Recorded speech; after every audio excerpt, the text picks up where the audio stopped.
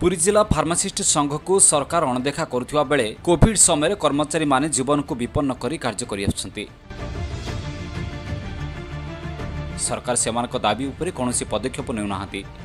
Pharmacist ସଂଘ ତରଫରୁ କଳା ବ୍ୟାଜ୍ ପରିଧାନ କରି କର୍ମଚାରୀମାନେ କାର୍ଯ୍ୟ କରୁଥିବା ବେଳେ ବହୁ କାର୍ଯ୍ୟରେ ବ୍ୟାଘାତ ଉପୁଜୁଛି।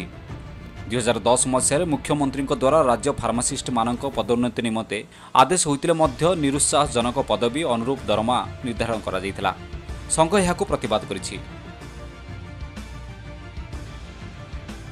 ଦୁଇହଜାର ଅଠର ପର୍ଯ୍ୟନ୍ତ ଧର୍ମଘଟ ପରେ ଆରମ୍ଭ ହୋଇଥିବା କ୍ୟାଡର ପୁନର୍ଗଠନ ଅଧା ରହିଛି। ଦୁଇହଜାର କୋଡ଼ିଏ ଉଚ୍ଚସ୍ତରୀୟ ବୈଠକରେ ଏହାକୁ ଅର୍ଥ ବିଭାଗର ନିରୀକ୍ଷଣ ପାଇଁ ପଠାଯାଇଛି। କୌଣସି ବୈଠକରେ ସଂଘକୁ ସାମିଲ କରାଯାଉନାହିଁ। ଏହାକୁ ନେଇ ଫାର୍ମାସିଷ୍ଟ ସଂଘ ଦୃଢ଼ ପ୍ରତିବାଦ କରିଛି।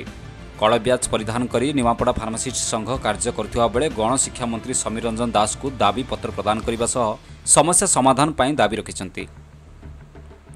ନିମାପଡ଼ାରୁ ରଞ୍ଜନ କୁମାର ଦାସଙ୍କ ରିପୋର୍ଟ ଓଡ଼ିଶା ଭାସ୍କର